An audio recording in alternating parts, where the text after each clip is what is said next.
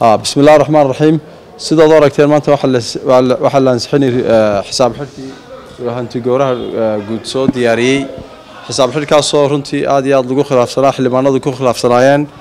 Waxaa dhacay maanta in markii ugu horreysay taariikhda in labiyo saddex in labiyo saddex xildhibaano qura ay runtii ansixiyaan. Golaha xildhibaano badan baa ka maqnaa badhna way diideen.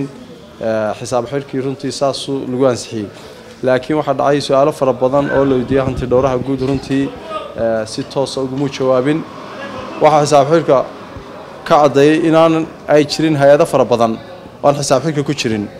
Hay'adaha madaxa bannaan dekadda berbera haamaha shidaalka waxyaalo fara badan oo runtii ahayd inay ku jiraan xisaab xidhkaas kamay muuqan lagumana soo darin. Marka waxaa qalad ahayd xisaab xidh aan dhammaystirnayn runtii in maanta la ansixiyo arrintaa xildhibaano fara badan runtii way diidanaan waanay ka hadleen. Marka waxaa runtii aad iyo aad baan uga xunahay maanta xisaab xidhkaas inuu saa nugu dhaafay. Waxaa loo baahan yahay runtii haddii wax la ansixinayo inay dhammaystirnaadaan. Hanti gowraha hanti dhowraha guud waxyaalo fara badan buu runtii xisaab xidhka ku soo qoray. Laakiin aan dhammaystirnayn wuxuu yidhi baaritaano fara badan baa socda. Kuwaasuna kumay qorneen baaritaanadaas waxay ku dhammaadeen.